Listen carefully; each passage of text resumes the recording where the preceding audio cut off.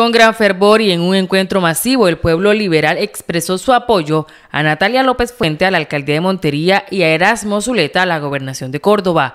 La colectividad reafirmó de manera unánime su respaldo a estas candidaturas, congregando a aspirantes a la asamblea, consejo y ediles de diversas comunas y corregimientos.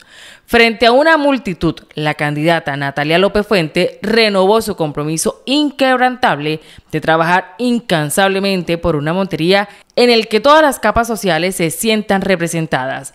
Su programa de gobierno diseñado en sintonía con las necesidades de la población, el cual busca mejorar los ingresos y la calidad de vida de las familias monterianas.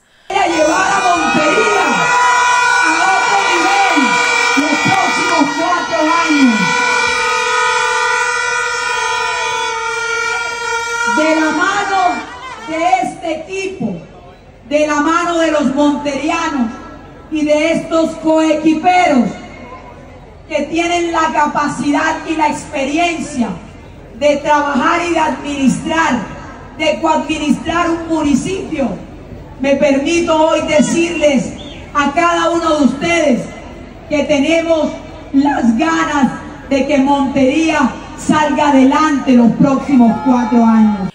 Durante el evento, los líderes del Partido Liberal reafirmaron su apoyo a la fórmula conformada por Natalia López para la alcaldía de Montería y Erasmo para la gobernación de Córdoba.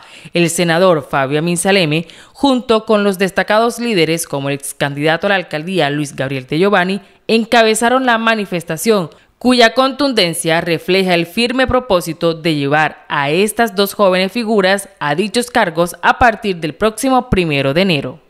Chica Noticias informa y tú eliges.